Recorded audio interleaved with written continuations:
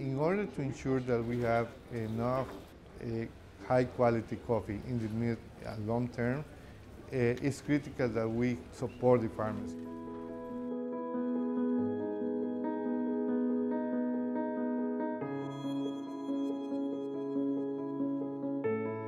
We have 10 hectares uh, dedicated to research. So we are focusing a lot on the uh, development of new coffee varieties.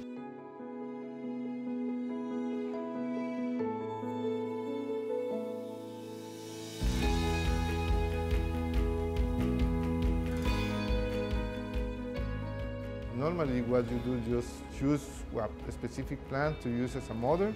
Normally the one that has better structure and good productivity and you just use pollen as a, from, from the father uh, plant.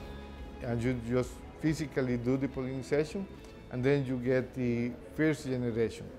And then you have to harvest the seeds from that particular plant, the, the new hybrid, and you have to start doing this election in order to get a, stable, uh, a new coffee variety.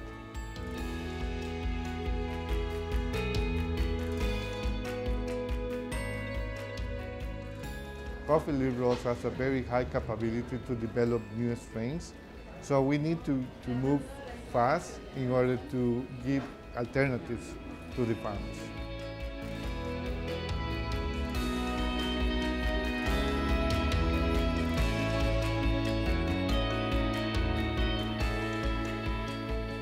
I think it's very important for customers to know the, how difficult it is to produce high quality coffee, the level of complexity, and also the, the amount of uh, effort and investment that we as a company are doing in order to produce high quality coffee and to sustain the coffee sector in a, in a healthy and good condition in the mid and long term.